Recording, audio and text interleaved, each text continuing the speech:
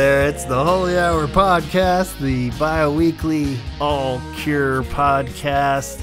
And welcome back for the end of April celebration of 17 Seconds 40th anniversary. I'm Gavin, joined by Donald and Chaz. Hello, fellas. Hey guys. Hello. Guys, still kicking out there? Something like that. Mm, we're making it so far. Barely. One month, right? a little over a month now. This is uh, still hanging strong, and uh, we got to celebrate Good, man. 17 seconds. So there you go. Yeah, That's good. It's all. Uh, good enough to podcast. there you go. You know, it's a positive. It's a good thing. yeah. Well, we hope everybody out there is doing well too, and uh, holding up Mm-hmm. strong and keeping safe, and not doing stupid shit, and uh, be, Not going to any of these fucking rallies. Yeah, not any of these rally Yeah, people that are that. starting to pop Not going up. to the fucking beach. Yeah. Yeah, At least learn how to cut your own hair. Mm-hmm. All right. Yeah, you know, it's uh it's it's easy. If nothing else, I suggest just waiting to see what happens to this first round of fucking people going to these Yeah. rallies and then then make your uh, educated decisions. But uh and uh welcome back to the Holy Hour podcast that we Mm, this might be the sole reason why we started this podcast, ladies and gentlemen. Tonight, we, we are doing the third and final profile of Cure member shows. And um, it is the third member of the Cure that was neglected by the Rock and Roll Hall of Fame. So, one, we'll be able to cover this fine gentleman's profile, but two, we'll finally be able to just let this whole Rock and Roll Hall of Fame bullshit go and be done with it. but, um, Never. yeah, this is. I know we've been talking about it for a while now, but this was the third member that was uh, sadly not included in the Cure's induction to the Rock and Roll Hall of Fame. Matthieu Hartley, Matthieu Aiden Why? Hartley, and um, what a cool know. name, and it's spelled cool too. Oh yeah, so Matthieu, I like it. Matthieu, Matthieu. Yeah, it's, look, I love it. Like he grew up Yeah. with that shit where people like just look at his name and be like, "What?" Matthieu. what the fuck is this? Matthieu. Yeah. Matthieu. Matthieu. it's like definitely a Key, Come. Key and Peele joke in there somewhere, but uh, Hey, Aaron. Keep that in mind while we talk about him. He grew up with just like that little like, you know. Yeah, But I think it looks cool, man. yeah, It's he's cool ahead of his it. time. I mean, that's what every kid's Yeah. like now. And I'm subbing yeah. and teaching and shit. Like I'm trying J- to read the the role, and I'm like, what the fuck? Oh, Like Jackson substi- with a Q. and- yeah, Britannia. It's like it's like uh like when a substitute comes in like to class, you know, when he's a young kid and they like read off the names or whatever, and they're, he's like, you know, it's like so and so, are you here? You're like here, oh yeah, present. And they get to him and they're like muff. Matthieu, Matthieu. yeah, and he's like, ah, god damn it, like again, fuck. Hey Hartley. Hey Hartley. Just like, Matthieu like Hayartley. it's Matthieu here. But, uh, But uh, yeah, if anybody's confused out there, I'm about 98% sure it's just Matthieu Hartley. yeah, so, uh, yeah. But uh, yeah, I mean, yeah, ahead of his time. Um, with, with the, Were his, fa- were his parents French or something? I don't know. That's Yeah, how what kind of extensive this is review is tonight. Not too I'm much. sorry if that's racist. I'm assuming that he's French. But yeah. yeah, you know. Yeah, I don't know. Dutch? Yeah, maybe. But I'll tell you Something what I do know about him. You guys ready to dive in? Mm-hmm. All right, born February 4th, 1960. He just uh, turned 60 this year, so Congratulations. yeah, happy late birthday to Matthieu. And um, he was born in Smallfield, uh, England. Not in a small field, but that's, that's actually a That sounds like a fake. that sounds like a fake city. yeah, it's like a like a Mellencamp song or something. I was born in a small field. somewhere near Sucking a Surrey chili in a small field. Um, but yep, and uh, England and um, in a small field. He has an older sister and brother. And uh, moved to Horley around his early teen days and uh, started playing some piano somewhere around there. As you can tell with the vagueness of this, there isn't a lot of info out there on, on Matthieu. So uh, apologies and bear with Right. us. And uh, just throwing that disclaimer out on the top. If anybody has more that does not get included, feel free to let us know later. But um, yeah, so he started playing piano and keys in the late 70s, so like his teen years. Um, it was noted that he was a hairdresser around the same time as like one of his first jobs. Fuck and yeah. Was a hairdresser between 76 and 79, which would be, Like you know, the, like a hairdresser, hairdresser, or like a barber. they said hairdresser, so I really don't know. Maybe, yeah, I would assume they were. I Get him on the an line. English We need thing to, we need to discuss this. Let me dial him up.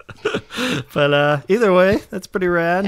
Um, you know, hairdresser and I the like he's a hairdresser though. That's cool, man. He's like Yeah. playing in bands. hey, he would have been. Doing Fucking, Robert's like- hair. Yeah, and he probably did like cool like hipster hair. You know? Yeah, and, and a little He's probably, like, a unfortunate. Like a, lot of his story, he he would have uh, probably had more input in the Cure later in their career. Right. He happened to be in the one phase when the Cure of all bands had like the worst haircuts. You know, like it- they were pretty straightforward bad haircuts on 17 Seconds era. Was like the one time Simon's just like rocking some weird mullet, and Mole's got his thing going on, and Robert. He's like Matthieu, could you get me real quick? And he's like, yeah, he could have jump he was totally cutting the hair. Like that's dope, man. But uh, yeah, so we don't know too much about his childhood or actual upbringing as a as a wee boy. Um, but the uh, Ten Imaginary Years boy book is going to be the the most reliable resource for info on him, and uh, says that he's the only one. It, it's weird too because you know the back of that book where they have the baby photos and stuff. Yeah. Um, he's the only one that doesn't have a baby photo in that section. Oh, it's like he's already man. a teenager even in that section. so, He was never a so baby. maybe he was Yeah, never he a was- child. he was born a just- teenager. he was just born a teenager. he, he just hairdresser. morphed out of a small field. Yeah, Came out from the ground. everybody else had a baby like photo. sprouted. A pair of Grew scissors like in his hair. hand. But the nugget of him being a late a teenager in the late seventies that played the keyboards is probably the most really only important part that matters as far as this story goes. So um, he starts playing around in bands around this time, and he's the last member to join a Horley band, punk rock band named Lockjaw. And, um, yeah. Such a great name for a band. Yeah, Yeah. awesome name. And they formed in '77 as a punk rock band, and uh, they got on a label called Raw Records. And the band, as we mentioned, a lot of this will cross over from the 17 seconds episodes naturally, so bear with us. But um, in this band was a fellow named Gary, and I said. Bow last time, so I'll just say Bo this time. Gary Bo. Why not? maybe next time you get it consistent. right. Yeah, well, if I do this three episodes in a row, maybe I'll get it right. So Gary, Gary Right. was the we'll just call him Gary was the singer. Um, Simon Gallup played bass, and uh, Stuart Hinton on guitar, Martin Ordish on drums, and Lockjaw was this punk rock band. Uh, they did some recordings. They had a song called "Journalist Jive" that you can find on YouTube. That's pretty rad, actually. If you if you check it. I, I listened to that today. Like, Oh yeah, did you pull it up? Yeah, it's like a little EP kind of thing, or like a Yeah, I've listened to them before. Yeah, it's pretty cool. Yeah, cool. it was pretty badass, man. Yeah, and um, I don't believe he joined Lockjaw in time to play on any of the recordings. And sadly, we'll see this kind of pattern a lot where he he jumps in, but you don't really know what because he's not. There's no keyboards on any Lockjaw shit for sure. Um, so cool. But then around that time, um, the they left the label and were transitioning. I'm not really sure what the full story is or why they left Raw Records, but that's when they wanted to shift to be a more of a new wave band, post punk sound. So during this process, they got the keyboardist, they changed their name, sadly, from Lockjaw to the Magazine Spies or Mag Spies slash Magpies. Terrible name. See, I other like those episodes. names. yeah, all three all of them are man. great. Donald's standing by them. Magazine Spies is dope. Yeah. I'm gonna buy that name off him, man. Yeah, I think it's available it now. It's been long enough, I think, where it's available. Get getting the band back together. You could be um, Magazine Spies USA or something you like that. Right, You know? totally. That'd be dope. or just put it put a year after it. Yeah. uh, so this happened around 79. Um, and the band was managed by the bassist, Simon, has older brothers, uh, Dave and Rick. And um, Rick, in particular, would be the one that takes on the band and be their manager, I believe. So. Um, around this time, they're playing live too, and they're playing in Crawley and other spots, and they get kind of, you know, friendly with these other bands in the area. And one in particular, this band called The Cure that had just put out their first album called Three Imaginary Boys. Shortly after recording sessions would emerge at Morgan Studios, uh, the Magpies were going to record a seven inch with the Obtainers. And um, this is the one that lost Donald a little bit, so I'll say it slower in this episode than the last time. Right. so, so at the recording sessions of this split seven inch, um, it's signed on that Rick, who is Simon Gallup's older brother that manages this band, still with me, and a fella named Robert Smith are going to produce the Mag Spies EP or whatever. So, so only weird in the sense that their first batch of recordings is the uh, Simon's brother and Robert Smith. So I think it's cool because it's like early on, something we didn't touch on in the other episodes that Robert's already like like producing shit. You know, like that's something that doesn't really get drawn to attention much. You know, like. You know, If you asked me to repeat what you just told me, like where you're like, you still following me? I couldn't right now. Ah. I absolutely could not. so may- maybe next time. Simon's brother and Robert Smith of The Cure, who you should be familiar with, produced the first magazine Spies recordings. So. Only relevant because Rick too is the dude that would later do the film, the Faith film that would be their touring Damn. thing. Remember? Um, I'm pretty sure it's Rick, that brother of Simon's, that does the animation film that nobody can find anymore. But it was the opening act on the Faith picture tour or whatever. I'm just gonna say, Remember it's that whole a, uh, story? It's it's it's a family affair. Okay, yes. Like I'm just summing it up with that. Like it's it's a family affair. and That's awesome. Not worth dwelling on. Yeah. so- we'll get it next anniversary. I promise. I am not one for uh, making things clear by any means, so I'll take part part of the blame. So. You're so I'm pretty vague, sure I followed you. I, I really thought I had it on this one. I wrote it out in bold. If you saw my notes, it's very clear. But um, so anyway, uh, they're producing it, and they all get along great. Is the point? Uh, it's hard to tell where Matthieu really falls in like the bonds that are forming or what you know. But um, you know the Simon side. their Of, family. Yeah, and the Simon side of the story is always a little more gets the the note in the official press. But that's when they start the cult hero side project thing too. Um, yeah. And they bring Matthieu in um, that with Simon to do this funny side off, uh, side side project kind of thing. And Michael Dempsey, the Cure's current bass player, wasn't there, but he eventually would play keyboards on it too. So somehow in the credits Fuck for yeah. Cult Hero, Matthieu and Michael Dempsey are credited for keyboards. So again, unfortunately for Matthieu, we don't really know what he's playing on any of this, even even though even though the guy that it's they're dope clearly though, man. It's like Mhm. it's like young bands like playing around, meeting new people, meeting other people. Everyone's like, "Yo, I know this dude. Like, Yeah. he cuts hair." I'm sorry, and uh, Hey, you know, Simon's it's like buddy. He, play- yeah. he plays like fucking four instruments. Like he can fuck with drum machines and like the keys and like a bunch of other crap. Like, yeah. fuck yeah, They're all having they're all vibing, man. They are. And, a good uh, time. yeah, and there's there are some cool keyboard stuff on like I Dig You and Mhm. Cult Hero and stuff that until re-listening to this a lot, I was like, oh yeah, there's some cool keyboard shit going on in the background there. But um, shortly after, while showing the bandmates new Cure demos, this is the story of where uh, Robert tries to impress Michael Dempsey with the new what will be 17 seconds demos, and he's like, eh, I'm not feeling it. So he pulls in Simon Gallup from that. That's the quick version because we've heard that a billion times. But in this Can trade, you go like over a- that again? yeah, one more time.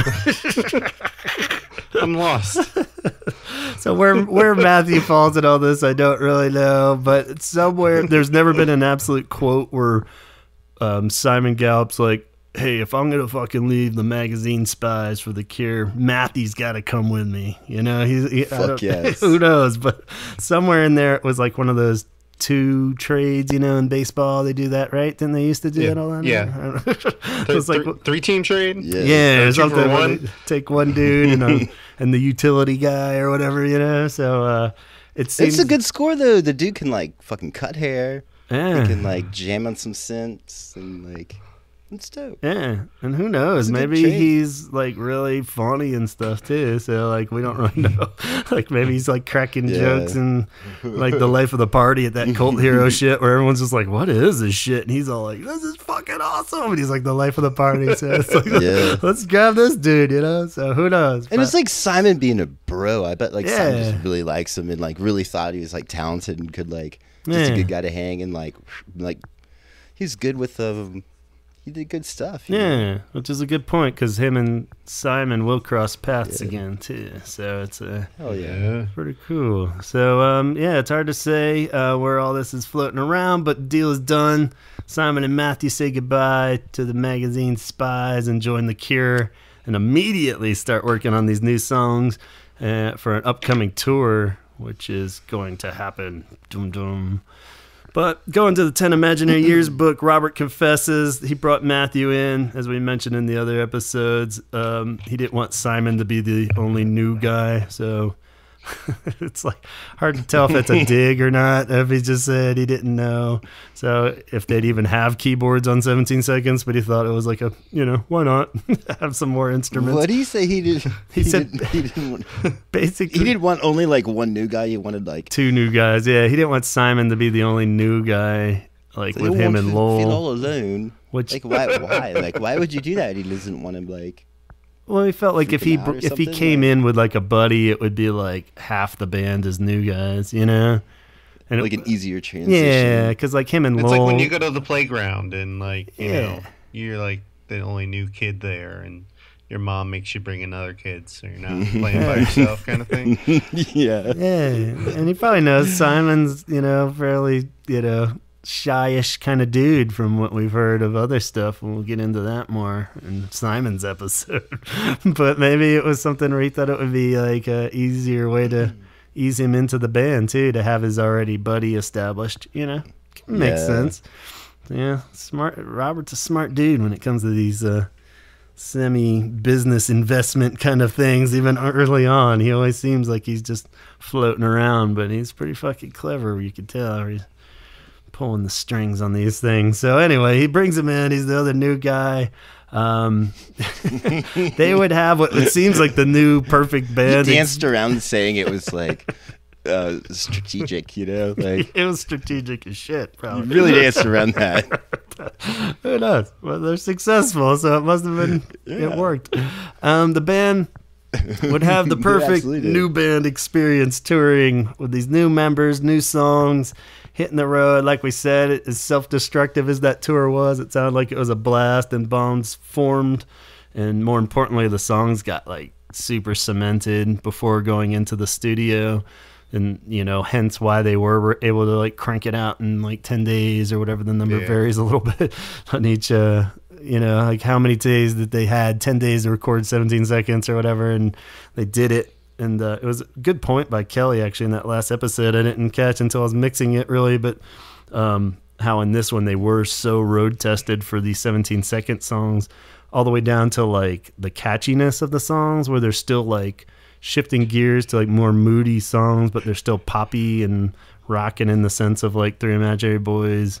But then like by faith they don't do that and that's when they you can do songs like all cats are gray and shit and it's all like awesome and like more studio songs but then remember when they went on tour for that album even it, they were like getting a lot of blank stares from the audience and shit you know because it's like Yeah. it's like what the fuck is this you know it's like playing like funeral party at a small club kind of thing you know it's like you know i mean a lot of 17 second songs could have been done like that but they probably Right. cranked them out and knew how to make them like poppier still while being moody, you know. So I don't know. I thought that was a good point.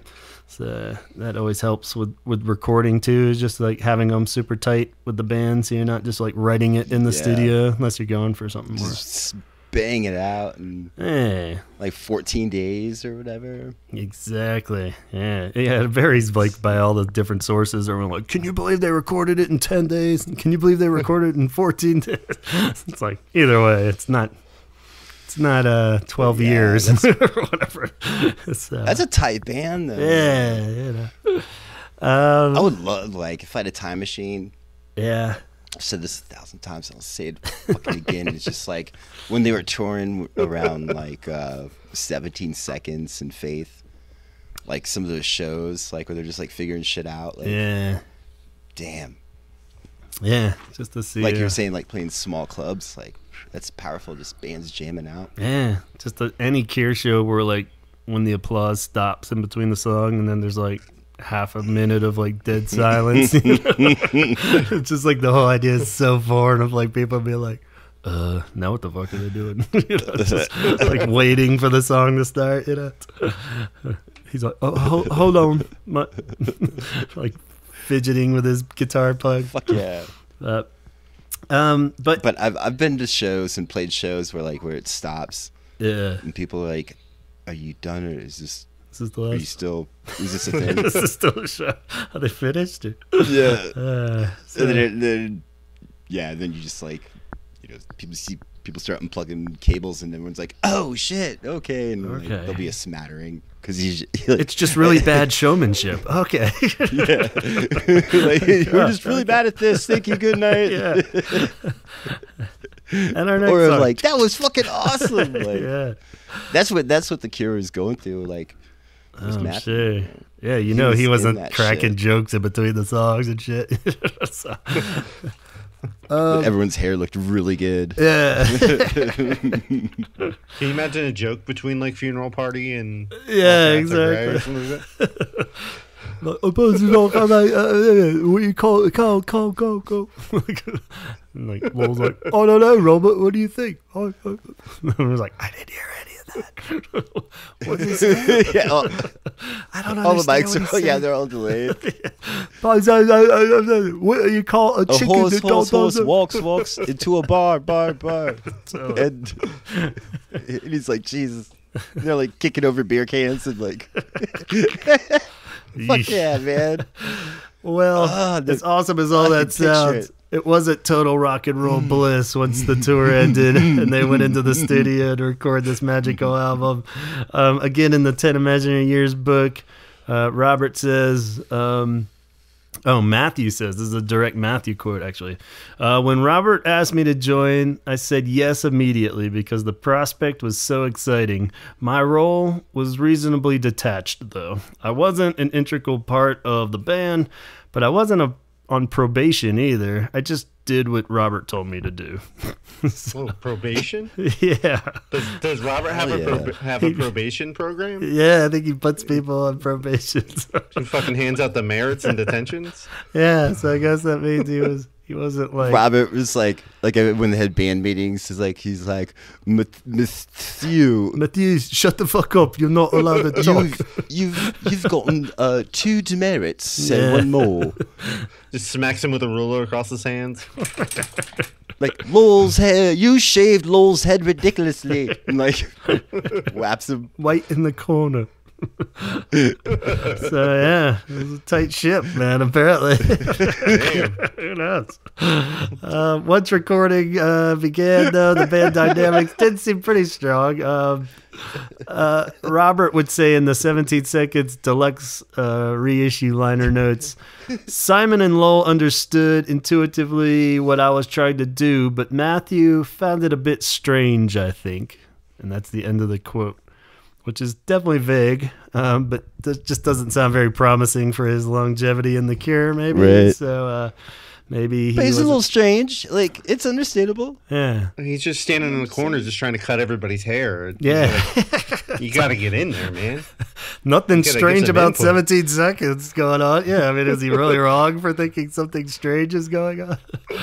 They kicked him out once like they they had their own barber money Yeah. or their own stylist money. Maybe that's what it was was, like, I yeah. don't need you anymore. So yeah, maybe he wasn't having quite the blast while recording it, but uh, um, apparently Chris Parry, their manager, never quite clicked or saw what the interest in Matthieu was. He said he loved Simon right off the first meeting when Robert says, "I got these two guys I want to bring into the band." Um, but he said, "Yeah, something was up with Matthieu. He was just very boorish and overbearing." so, which you know. Aren't great. He's like, can we all not do acid? I mean, like, Like one or two of us. He's like, Like, two like demerits, one o- Matthieu. one other person besides me. yeah. he's, uh, I think it's probably why he left. He's just like, they're like, you Christ. can't hang, dude. And they're Yeah. like, what? I said you can't. You know, they're like, whoa, what was that? yeah. They're just like, I'll fuck tripping balls. And it's like, he's like, come on, dudes. Uh, uh, it's just playing Do you want the haircut or not? I can't play keyboards and cut your hair at the same time. what do you mean make it giant? Just make it big. What do you mean? Like, I can't like add to it. I'm, I cut the hair. I'm not gonna. Yo, this is my new theory. Yeah. That's how they got their hair because they're just on acid. And he's like, fine. Just he's like, can you make it big? It's like, yeah, this is what you got to do, man. Just take more. You know, like a hairstylist. Come and he did it on. as a joke. yeah. Yo, he should get on. money just from like the image of the cure. It's like the hair. Yeah. I inspired. I inspired swear to that. fuck, I I, inspired ten, it. 10 bucks he had a hand in it. You know what I mean? You think he he, has to. inspired them to, to go big with their hair? Yeah, they were doing acid and cutting hair. Hmm. I don't know if they're full on doing the acid stuff around this time. I think that comes a little later, but. we'll. Let me have this, man. Okay. They're, they're Just probably, they're probably just drunk, but Sure, sure, sure. let me have this theory. Okay, yeah. Exactly, I had just a Donald. bunch That's beers. wonderful. Great job. Um, I won't explain it anymore. okay. Yeah. This guy Um, never inputs at all. Gavin. Nah, yeah. He's the Matthieu Hartley of this podcast. Yeah. With, without with, without the hairstyle ability. Yeah. um, after the recording of the album, the band would hit the road immediately, uh, touring again, including, which we haven't mentioned yet in this round of 17 Seconds Praise, but um, that footage of when they go to the U.S. for the first time um, and uh, play on the East Coast there. And there's that Yeah. really cool, which is all in one clip now. I just recently found again that uh, it's like at the Hurrah Club or something. Um, and uh, yeah, it's like a great like three night thing that surfaced right around when we were doing the last with the original 17 seconds episode. I remember like, what the fuck is this? Because it's like super clear footage. It's like the closest you get to a time capsule kind of show um, from the 17 seconds tour, and it's super rad. We'll put it in our thread, but I'm sure most people have probably stumbled across it at this point. But um, yeah, it's real good. Yeah, yeah, we tried to go to that uh their first show. uh, Yeah. yeah, where they played. It's not there anymore, but it's like some kind of corporate building now. Oh, yeah. Mm, so Pretty but, sad. That would have been cool. yeah, Cherry Hill, New Jersey. Yeah, yeah, that's where it's at. um, so after the tour, it sounded like it was a pretty successful tour. Nothing, you know, like I don't know if they continued the super debaucherous version of it on the second part of the tour or what, but um, Mm-hmm. uh, afterwards, Matthieu departed from the band. It seemed like it was just cited as differences. Nobody really, no real mention of why or how it went down for this one. Um, nobody mentioned who gave the bad news or if it was even bad news. It seemed like maybe everybody was kind of fine with it. Um, I always kind of got the vibe it was kind of a cold exit, but uh, I mean, there isn't really anything to back that up. So, uh, mutual breakup, I guess they call it. so, who knows? Yeah, I hope it was like Just- a mutual thing. Yeah, I think he was just like, you know, and we'll kind of see some stuff that I dug up later that uh, maybe it wasn't, you know, like a cold thing. He was just like, yeah, I'm cool, I'm done, you know, and he was out. So he left the band, and um, you know, a little bit had surfaced where I'd found. Well, I was a bit surprised. like in a super early episode we did, we were even kind of busting on him for being like a watered down Lol on keys, even, which is super harsh. Oh, and um, damn. yeah, so uh, but apparently it's come up that he's like super talented piano player, keyboardist, and his gripes with the Cure was that it was all like Robert wanted him to play like the two finger kind of riffs and stuff, and he was like, "This is fucking boring. I, I want to play like real piano and keys and stuff." And uh, so he was just kind of like, Like- "Eh, I'm, I want to play I, something." re- real." I really do want to apologize for like just talking shit and being dumb. um, like in general, or, or yeah, just in general, but also with uh, what I've said in previous podcasts Uh, yeah. about this dude. Like, That's Like, not I did bad listen to boy some- of you. I know, but I, I but but I listen to some of I listen to some of his stuff, and it's like he is pretty talented. Like, Yeah. And who knows? I mean, yeah, you we just see the clips of him kind of plucking away the dur kind of thing. But I mean, it's like that's probably that's probably Robert. want. Just like just play this dude. yeah, exactly. and he's like, And "You he's like, sure? "Fine." I can make it. And he's like, no, no, this, those four notes over and over, Like, just these. yeah. just the white keys. it's like, Just I okay.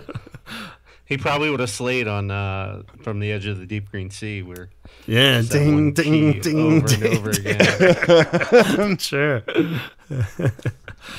so, where the fuck does the story go from here? He is out of the cure. well, I did find a few little nuggets, but it does get pretty scattered. Um, so this is where uh, hopefully I tried to keep it as much in the in the timeline as possible, but it, it does get it's if you're anticipating the epic resume of Phil Thornalley, uh, you can pretty much exhale because that's not going to happen. but uh, but at the same time, there's some pretty funny little things I was able to dig up out there, and um, you know, if you are a Matthieu Hartley diehard fan out there, of course, apologies and calm the fuck down. You know, it's just not out there, so please send it to us if you, Bless you, if you man. have some. amazing. Yeah, it said that we'll be totally glad to do a redo episode if some or something's unearthed that like he played the the riff on whatever the fuck you know the Beverly Hills Cops three soundtrack or something great. Yeah, yeah. he was the mastermind behind the Axel F theme or whatever. But um, as far as we know, I don't know. But uh, here's a few little nuggets that we can leave you uh, good listeners with. Um, in his mini profile was a good place to start at the end of Ten Imaginary Years, as we've already referenced. Um, it says after, and who knows what's like kind of a dig at this or if it was whatever, but it says after leaving the Cure in 1980, he worked in a zoo. Period. Fuck yeah! What? Oh.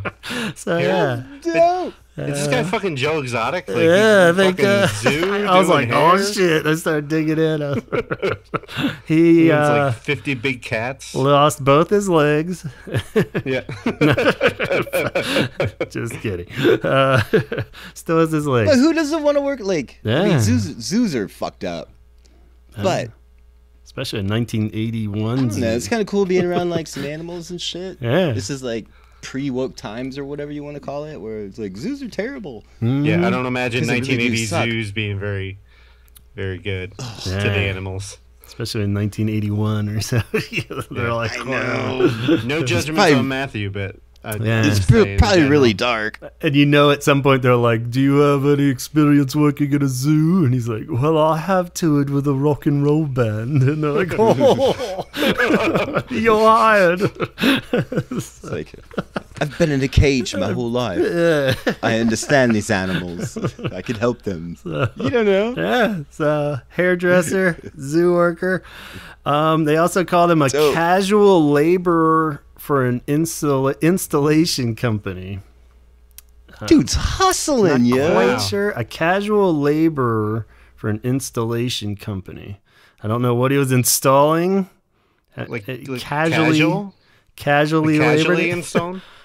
Like just standing around talking. yeah. We're not saying he worked hard at this. He didn't like really work. It's a very British way to say like he worked in construction and put insulation in. yeah, he was like helped know? install something. Yeah, And it's like, yeah, but like casual and labor, it's like fuck you. It's not casual labor. It's fucking labor. yeah, Like there's nothing Casually casual labor. about it. yeah, it's such Maybe a if you don't have to wear a uniform and you can dress casually.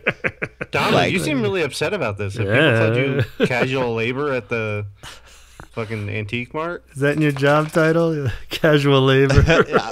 Ah, just being a laborer. They just put that on your name tag and you throw it every day.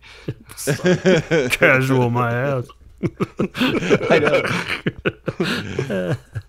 And it's It's like I'm wearing jorts. Is that casual? He is, that's a Yeah. he doesn't wear a suit and tie while he installs the fucking. but there's nothing casual about Yeah. it. Like, it's fucking work. It's a bunch of bullshit. Like Yeah. I don't know. construction is a lot of work. Like Yeah. nothing casual about it. Well, unfortunately, we Sounds don't like too somebody many more has an details. axe to grind. Yeah, just- he also joined and left. As we all do. He joined and left several local bands, and uh, so Casually. really- yeah, casually played in some bands. Um, He has probably has like two, three jobs. Plays in a fucking band. yeah. Got married in '83, but that's all we hear about yeah. any kind of personal life stuff. So who knows where that went from there? But uh, He's a hard worker. I like that one. goes down to the pub after his shift. yeah. Um, Can you do me hair? You got yourself a man there, though. He could do your hair. He could Yeah. fucking Right. install some insulation. He's good with yeah. animals. break the dog in real can quick. Can play music for you. Yeah, you're like smoke a joint. And he's like, "Oh, do you want to hear me play some shit on the piano?" It's like, "Fuck yeah!" And he's like, "Bling bling bloom bloom bloom bloom bloom." He's at the pub. He's this yeah. play for today comes on. He's like, I played that fucking riff. I'm like, no way. it's like, yeah, Yeah. man. yeah, mate, I played that fucking riff.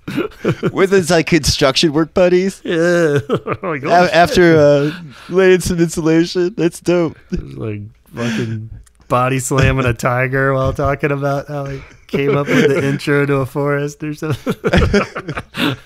like, no fucking way. Yeah, totally. We got a fucking Komodo dragon, mate. And they're like, "No way!" He's like, "Fuck yeah! Thing's brutal, fucking brutal." Um, as far I as want you to eat a live pig. As far as Cure collector notes, Fuck this yeah, is an like this guy. I interesting like nugget that came up here. Uh, this is one for, for Chaz to put on his wish list for records. But um, apparently, the the website, thecurerecords.com, you familiar with that one? Yeah, Cure, curerecords.com. Uh, apparently, there's a Matthieu Hartley solo Of course, Chaz knows seven, about that. seven inch floating around out there Yes, there is. and it's called Yeah. Gate Crashing and has four Yeah. songs. Issued in 1987 as a promo only, um, and it was posted on this site in 2010, like heaps of years later, um, and it got a response that was apparently somebody that knows Matthieu, but it wasn't Matthieu, or maybe just didn't want to admit it was him. But um, they somebody had posted this record on there, and then in response it said. I am in touch with Matthieu Hartley, and this is what he told me in recent mail about the record. It's a recording I did in mid 80s. As far as I can remember, I recorded this as a promo and not for any kind of official release. I think I had just left Fool's Dance because I wasn't happy with the replacement singer. I accompanied The Cure on a few European tours and handed them out to people, which might explain how your Oh. copy ended up in France. I can't remember. Yeah, I can't remember how many were pressed. I have since recorded stuff with two other bands, Sur- uh, Surrender Dorothy and Earth Calling. Again, these were promotional demos. I've recently started working on, a, on music again with a fantastic singer and musician under the name of Icicle Thieves. So, that one little passage had a few little more rabbit Such a good holes. to band dig- name. God damn it. so, if you can find this, there's no found audio of this recording. Sad, sadly, nothing. so if anybody has this fucking promo, they should upload it to yeah. somewhere so It's- someone can see. Be dope. Uh, according to Discogs, the Uh-huh. median price for it is thirty three dollars. Oh wow! So you much. can find it if you can find it and just upload it. Who has it thirty-three dollars? Yeah, Jesus, shit. Ouch. Not not in these trying times. Yikes! I mean, I'd go as high as like 24, but uh, 33 is Jeez, yeah, you Man, I think bought- that would be like crazy high just for collecting. That's like a four pack of toilet paper. yeah. Jesus. I love that name, Gate Gate Crashing. yeah, it's very good. Yeah. So I wonder what the hell's up with that. And uh yeah, pretty cool. So there's no no audio of it out there. Um yeah, second though, handing them out while accompanying the cure on a few European dates, which is cool because that was referenced that this happened way past 1980, so it must have been that he was Yeah. hanging out with the cure, so negates that Oh, yeah, I was just gonna a- say that doesn't that doesn't make any sense. Where you would like if he recorded them in the mid '80s, then he had to be on tour with them at some point, right? Yeah, Maybe he he was just like, kind of hanging out with them, probably. Something. Yeah, you know, I guess if they're buds, then Cutting he would just be like tagging along. yeah. Simon did take a tiger on tour with him, apparently. Nice. And then, they needed somebody to. Have you ever seen a lemur? They started to get really rich around that point where Roger always travels with two lemurs. but um, yeah, Simon bought an aardvark. they take it on the road with us everywhere. I slipped it out the back door for him. Yeah. Um, so yeah, I mean, it's cool that the, it sounds like they're on good terms at least by 1987. Maybe they had a falling out after that, but who knows? So that's kind of cool. Uh, his 'Cause they're third trying mention. to buy ants for the uh, aardvark Yeah. during the tour. It's like, where do you buy a bunch of ants? Like, that was I his job. He had to go each town and find the fucking. They had to get. They sent Lol out to go collect yeah, them off the ground. Like- he's like, I'm in the covers fucking himself ground." in honey and just relays out of, out of Just give him a anthill glass and jar. walks in. It's Yeah, I'm doing it. it's like, I guess I'll drink. Aardvark's just eating ants off him. That's why the tour fell apart. Mm-hmm. That's why Lol always had that extra mm. bottle of wine every night. Mm. I gotta keep Christ. rolling ants. Drink the memories away. if I have to look for ants in one more city.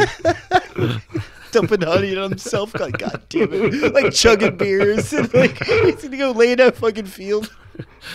Um, so he mentioned Because of, all because of Simon's aardvark. Yeah. God damn it. I need to make a lull like screenplay of just all the crazy shit that we imagine up that he's done. yes. Yes. um, Yeah. he mentioned Fool's Dance and in their early stages, and that that comes up again because that's the band Simon will join after he leaves the Cure in uh, at the end of '82. There after the pornography debacle, so it's interesting to note that Matthieu and Simon were reunited, and before it was even Fool's Dance, it was called the Cry, and that's when Matthieu was in there, and Simon came back and joined them. But then, like you said, he he didn't he wasn't down with the singer change, and uh, he split, and they became Fool's Dance, and Simon did the recording. So again, uh, Matthieu didn't get to make it onto the recordings of Fool's Dance, so we don't really This get to poor hear him. bastard. Cut, get- he never gets to cut loose on anything. So. Uh, so a bit unfortunate, but yeah, kind of cool that you know he must be cool with Simon. You know, if they cross paths again at that point. So Mm-hmm. so yeah. Um, then digging into the, some of those other bands that he mentioned casually or not so casually, he's like, "Yeah, my uh, record isn't real; it was just promotional, but I do play in other bands." Surrender Dorothy, which uh, turns out uh, there's a billion fucking bands named Surrender Dorothy. Um, Really? yeah, and about ninety percent of them weren't successful.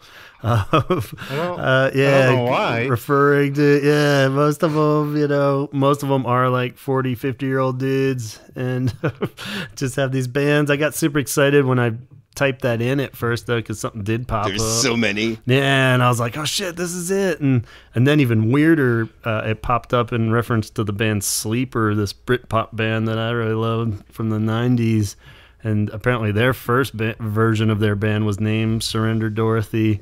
I was like, "Holy shit, he was in Sleeper!" and I was like, "No, they were just one of many bands that had that name, and they're you know manager was like, "Yeah, you need to change your name." So, no connection there.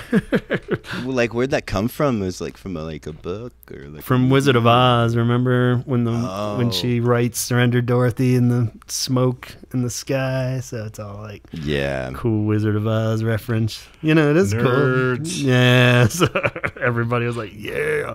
I know. Um, it's like you know what no one's ever done. Like, who thinks they're the genius? That was like, I'm the first person to come up with Surrender Dorothy. Yeah, reference Was the Wizard the, of Oz. The, the movies everyone's watched a million times. yeah. Probably one Uh, of the most watched movies. Yeah, totally. Clever. Very clever. So I felt more positive about Earth Calling. I'm like, well, no other band's gonna have that name because that's a pretty bad band name. I was like, all right, Earth Calling. I'm gonna find some shit on this one, but um, again, no results. Gave up. Uh, the only thing that popped up there was an article that I'm not mentioned. mad at that band name either, man. That's, Yeah, that's you're a down better like Earth a, Calling. probably a better song name. yeah, It sounds like a like a reggae band. yeah, yeah. Right? Like a really bad reggae Something totally. like a Yeah. Natalie Merchant side project or something. Yeah. Yeah, It's like, hello! yeah, yeah. It does sound like Ace a of reggae Base and uh, hello. That, Um, so yeah, after that, not sure what the hell he's been up to since '87 is the last confirmed, um, you know, sighting, especially as far as music. But then fast forward a whole 25 years later, so who the fuck knows what the hell happened in between there? Um, I guess he's kind of like Jesus, so there's a whole lost period. Yeah. So Yeah. uh, but I finally got something uh, that that was from those icicle thieves that he mentioned, and they're from Brighton. Nice. Around 2012, they had a bunch of live shows, or a few anyway, um, and that's the one he mentions. It's with a female vocalist. Her name's Lee Mills, and she sings and plays flute, which I'm never yeah. too big on uh, some on stage flutage. But um, Matthieu is playing keys, I assume. Um, Fuck yeah. they have Keys and flute. Nice. yeah, keys and flute. Jazz band. they got three songs on not mad at it. YouTube. One called Tin Box, Henrietta Needs Help, and Wire. And uh, yeah, And Surrender know, Dorothy. yeah, and Surrender Dorothy. Again, I'm not really sure what the fuck Matthieu played on these, but it sounds like you know he, you know, was a pretty key part of this band. And the, like the stuff I could find was like they're really pushing a few shows around 2012 on their like Facebook page and stuff. Was the majority of any of their posts were these recordings and then those shows. And then as soon as the shows were over. Seems like I don't know if they just totally fizzled out or didn't record anything else or something happened and it just didn't really have anything else. But I recommend we'll we'll put links to those songs. Listen to them. Not really my jam, but uh, but you know, It's not my thing. it's good. People are putting stuff out there into the world. Yeah. So um, I found a Make your site. I found a I site. feel I like wasn't. a- What's that? Did you listen to it, Tom? Uh, yeah, I Okay. did. I listened. I skimmed through them. Yeah. Um, not my jams, yeah. but I appreciate. It. I, I like the enthusiasm and like, and like the fact that someone was just like doing whatever the fuck they wanted, Yeah. and that's what he was doing. And, like, it wasn't terrible. Like, It's Yeah. not terrible. It's, I, like Yeah, I've heard worse. You know what I mean? Like, and and that's just what that guy's doing is like whatever the fuck he wants, Yeah. and I like that. I like that spirit. he's strange because he has more shit in the last like five years than he has in the last 30 or whatever so uh we got uh but oh before we get to that there was a cool thing we stumbled across somebody the cure community was some kind of website old school kind of message board looking thing in 2013 they brought something to my attention that i hadn't seen in forever you guys probably seen the footage of like Of course, you're on that, Gavin. God damn it. What's that? Of course I'm on that. Yeah. yeah. Um, I'm not a member. Okay. Um, Lurker, boom. But uh, um, there's a 1979 live performance. So this was before they even recorded 17 seconds, but they had Matthieu in the band, and it's from Paris. And uh, I know you've probably seen it. It's a really good high def kind of clip of Robert's wearing like a long sleeve blue shirt and like kind of almost pinkish red pants, and they're like playing kind of nice. yeah, you'd probably see it if you just YouTubed them in the early days. But um, but the cool thing about it is that they're they kick it off with Matthieu's in the band and Simon's on bass, and and they open with like a really fast like Three Imaginary Boys feeling version of a forest, you know, like those early ones where like Yeah. Yeah. it's more rocking. So he plays on that, and then they kind of just go into like some early versions of a few 17 second songs, but it's still kind of more of the songs from Three Imaginary Boys and Boys Don't Cry and stuff. Um, but while they're doing those, like the bulk of the set, Matthieu just is sitting off to the side of the stage. So he only plays on the first song. Who knows how it's edited too, but like he he plays on the first song and then like the second to last song's Three Imaginary Boys and it pans over and you see him just sitting there and he's like reading the fucking magazine. It's pretty it's, it's awesome. And he's just like sitting there like the camera, you know, it's like on a big stage, so the audience probably couldn't even see him, but he's just like sitting there, looks like he's all fucking bored, just reading the magazine.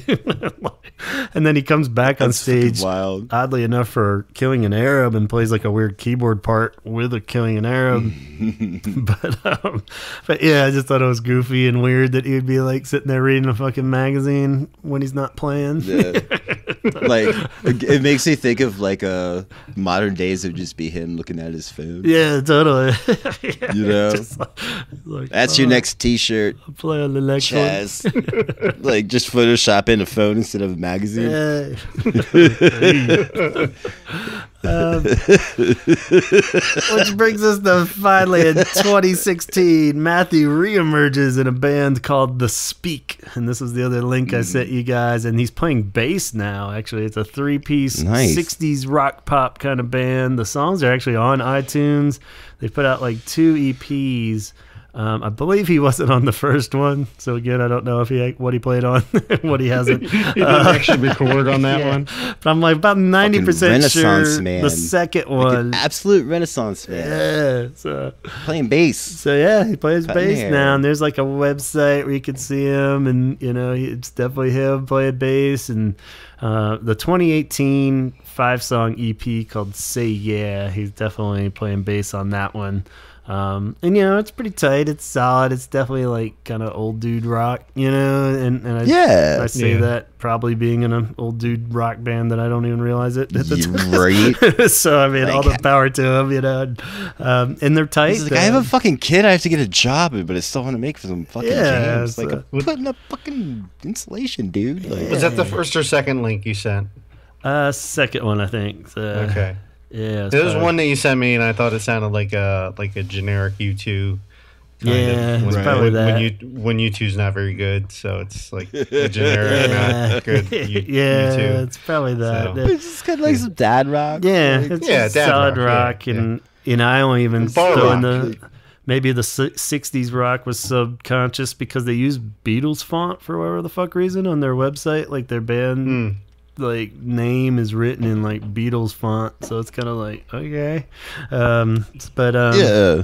But yeah, looks like they're having fun. They're just playing around shows. They played like a CD release at the Cavern Club too, you know, and it was like cool. Fuck yeah. So uh, yeah, and you know who knows? They'd probably still be lining up some shows if there were any shows going on in, in the world anywhere right now. But uh, um, I know. unfortunately, we don't know if they're still uh, you know, Alive. Yeah, alive. He was like, I saw, I saw this coming. so uh, well, yeah, we'll assume that they're all still still kicking. But um, yeah, Hopefully. so uh, you know, definitely worth checking out. Again, we'll put the links to there if anybody hasn't tracked that down and is curious. But uh, you know, it's it's good that it's out there and it's rocking and uh, yeah, other It's pre uh, pre pandemic. I really respected the dude. Yeah. Like, I've been thinking, cause I've been like going to do shit, like, like God, like all the stuff I could have been doing. And this guy was just doing shit. yeah.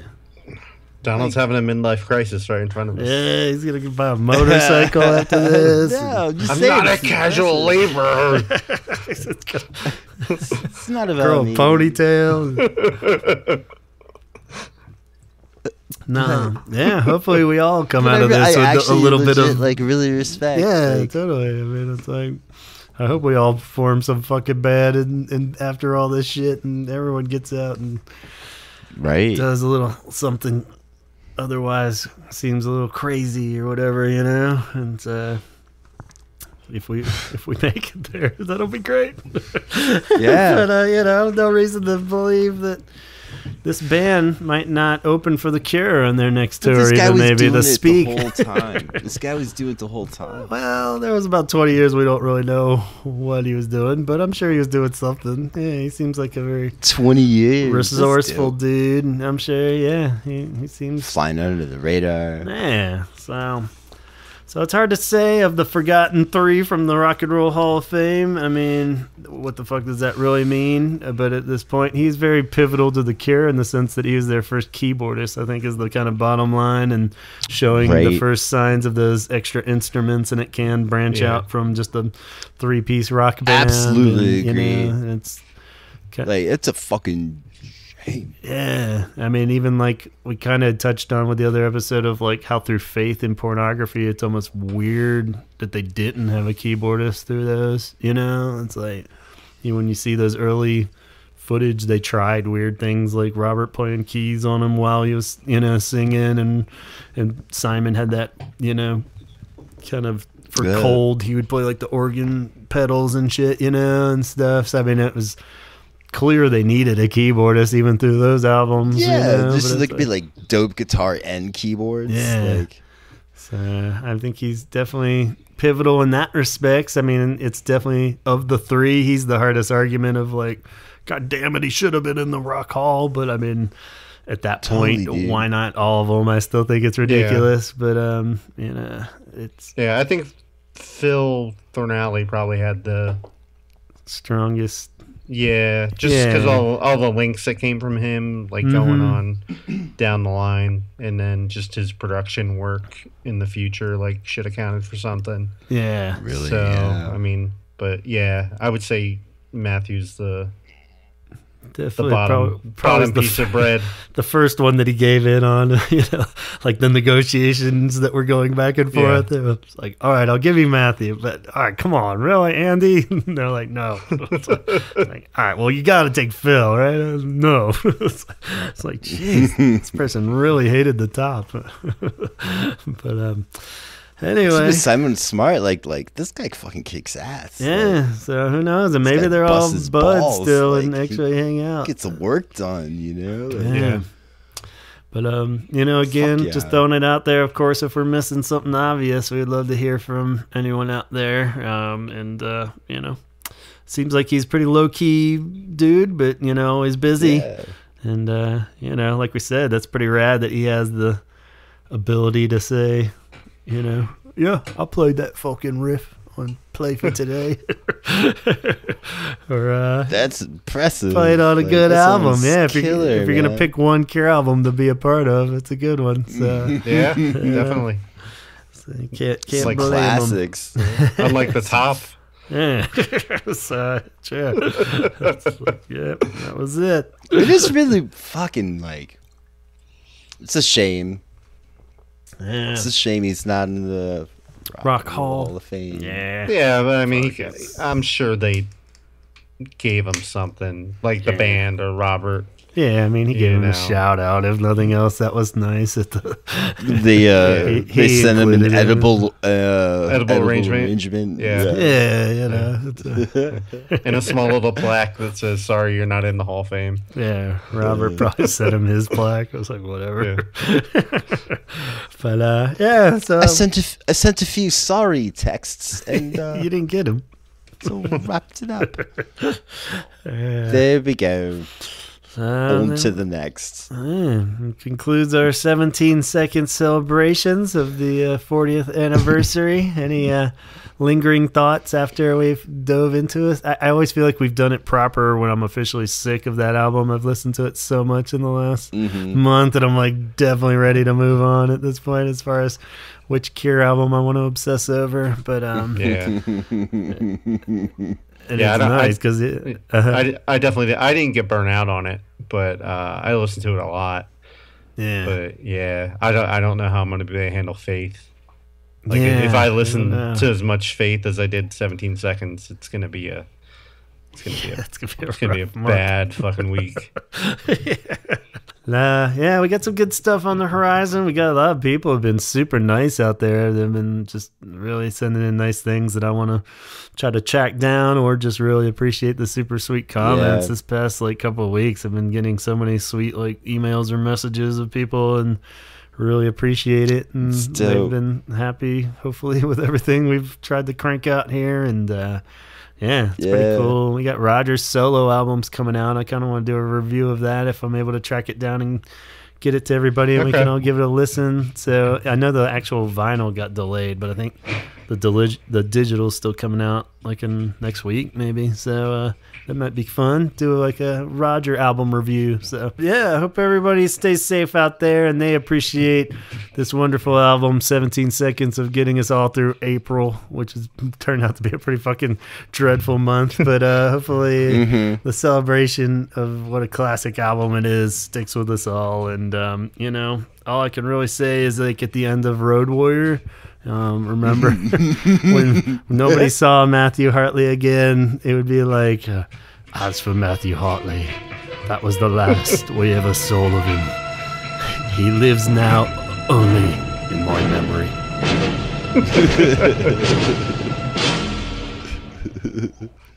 Lol's dress is humongous. Yeah.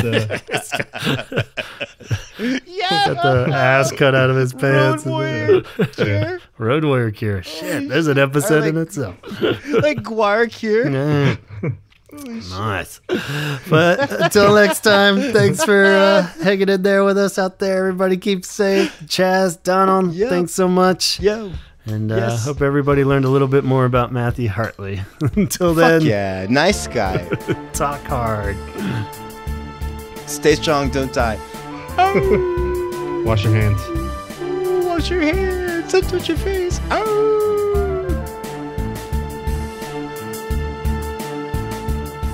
do it for now, and um, happy to report Donald is safely back on the moon, away from the coronavirus, holding tight, waiting for that new Cure album. We did get an update of sorts from NME. Roger was talking about it, um, more about his new album that's coming out, and um, yeah, he mentioned that the new Cure record, though is being mixed and mastered, and it'll be well worth the wait.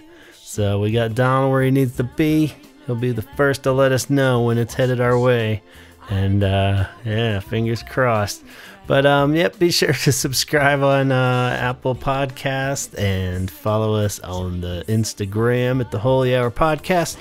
Facebook page is another good place for episodes such as this. To find the thread, you can hear uh, Matthieu Hartley's post cure projects that we were talking about. So go on over there and check them on out and like that page.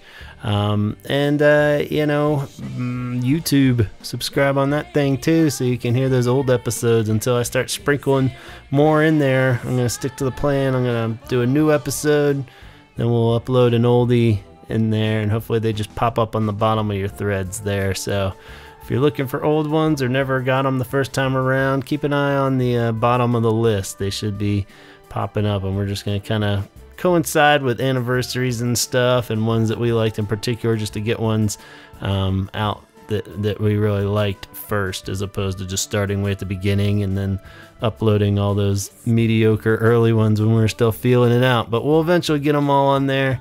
And uh, let me know if anything's uh, too annoying or not annoying enough. We can and we can uh, get suggestions there. But otherwise, just contact me, Gavin Conner at gmail.com, if you have any comments, questions, suggestions, and stuff like that.